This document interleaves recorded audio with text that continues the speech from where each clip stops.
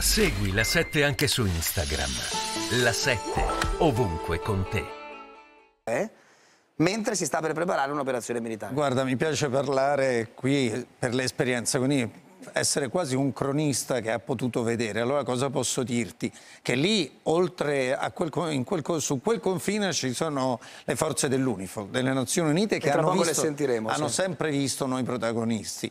Eh, abbiamo dei cerchi concentrici, io credo, e i cerchi concentrici sono, è una questione in primo luogo delle donne e degli uomini che vivono in Israele, nei territori occupati a Gaza. Ricordiamocelo sempre, lì su abbiamo il cosiddetto eh, fronte nord per Israele, il, che di fronte a chi?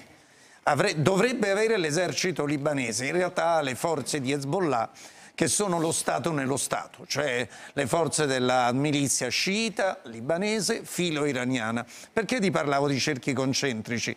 Perché abbiamo la questione di Israele e dei palestinesi, abbiamo la questione regionale.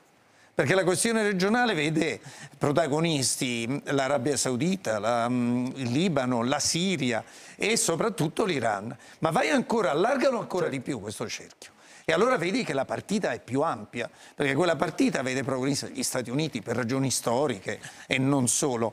Ma tutti dimenticano che nel 2015 i russi sono tornati sul Mediterraneo in Siria ridando vita all'Atachia e a Tartus. Ma i russi guardano Israele dal 1948, Israele dal 1948 in un modo dove c'è sempre stato un legame e un feeling. E ricordiamo il milione di certo. russi provenienti eh, dalla Russia in Israele Quindi, o dall'Ucraina. tu ricordi questo Quindi rapporto... voglio dire, arriva Biden che è un protagonista del cerchio concentrico più ampio.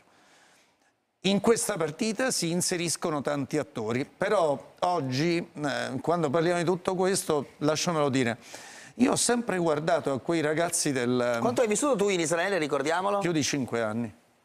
E ho vissuto anche, andavo avanti e dietro non facilmente anche dalla Giordania e dal, dal Libano.